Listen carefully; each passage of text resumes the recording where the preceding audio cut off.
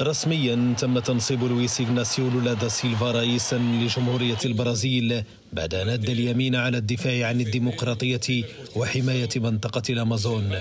ويدشن الزعيم التقدمي ولايته الرئاسية الثالثة بعد أن حكم البلاد بين عامي 2003 و2010 وذلك بحضور حوالي 50 وفدا أجنبيا من بينهم 17 من رؤساء الدول والحكومات.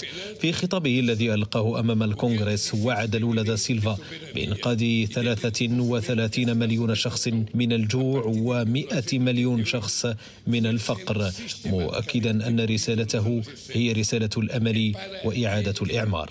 وأكد الرئيس الجديد للبرازيل أن حقوق السكان وتعزيز الديمقراطية والسيادة الوطنية ستكون ركائز ولايته الثالثة معربا عن رغبته في استئناف اندماج أمريكا اللاتينية. كما أكد أن حكومته ستعزز التعاون مع دول البريكس وستبني جسورا مع إفريقيا والدول النامية دون إهمال علاقتها مع الولايات المتحدة والاتحاد الأوروبي.